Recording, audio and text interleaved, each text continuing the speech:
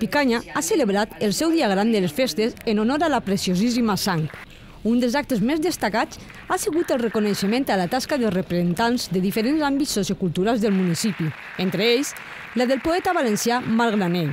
Aquest ha tingut lloc en el Centre Cultural de Picanya, en presència de l'alcalde Josep Almenar, els seus homòlegs de Panazol, ciutat de la qual es compleixen 25 anys del seu agermanament, la localitat alemanya de Marc Elbach, el president de la Diputació de València, Jorge Rodríguez, i els diputats Bartolomé Fuentes i Xavier Rius.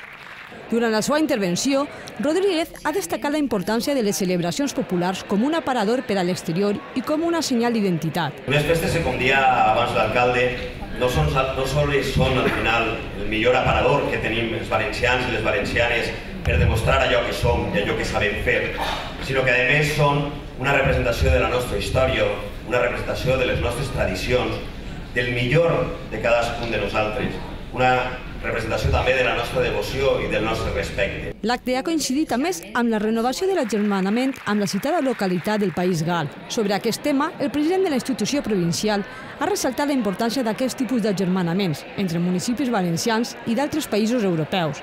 Que si alguna és essencial és que des dels municipis, des dels pobles i les ciutats, treballem per Europa. Perquè si l'Europa no la construïm els pobles i ciutats, la construiran els mercats.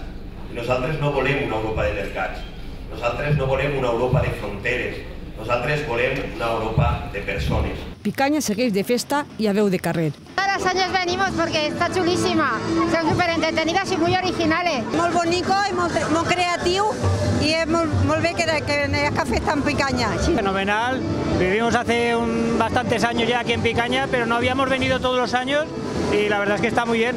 Sí, me gusta mogollón. La festa ha continuat amb actes religiosos, culturals i musicals, com una mostra de teatre i una cercavila popular.